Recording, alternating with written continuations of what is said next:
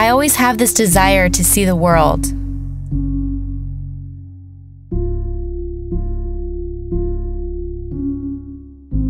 To travel, to learn, and to discover myself.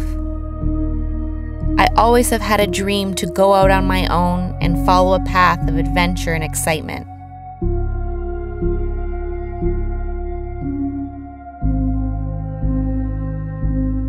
Embracing a new lifestyle, a different direction, something that completes who I am. I am not an ordinary person, nor do I want to live an ordinary life. I want to live a full life. I want to see new things. I want to experience a new culture, meet new people.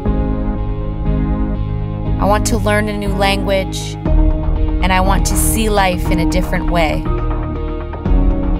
I only have one life, and I intend to live it.